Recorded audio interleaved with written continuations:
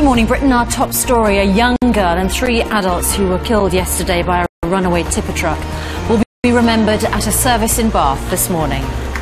Also on the show, how many bins do you have? The average home has four. We'll meet a family whose council insists they have nine. She held a party to say goodbye to her breasts after cancer killed her mother and sister. Clara Hermit joins us just weeks after having a double mastectomy and starting her new life.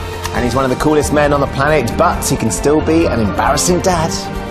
As he was uh, walking into his school, I opened his, I opened the window and shouted, "I love you" to him. So it didn't go down very well, but uh, you know, Tuesday, 10th of February 2015, live from ITV Studios in London.